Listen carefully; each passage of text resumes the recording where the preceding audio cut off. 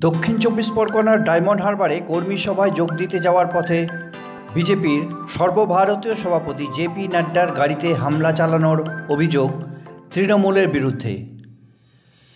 এদিকে জেপি নাড্ডার গাড়ি ভাঙচুরের প্রতিবাদে বোলপুরের বিজেপি এবং কর্মী সমর্থকেরা বোলপুরের চৌরাস্তায় পথে বসে বিক্ষোভ কর্মসূচি দেখান।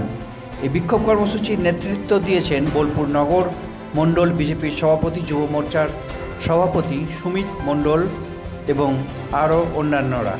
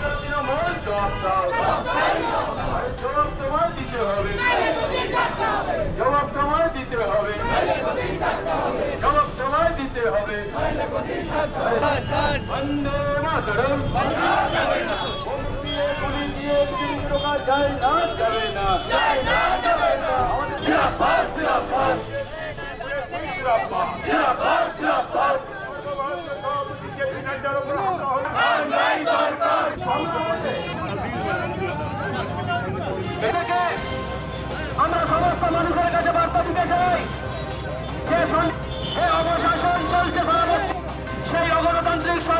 buscar Toré.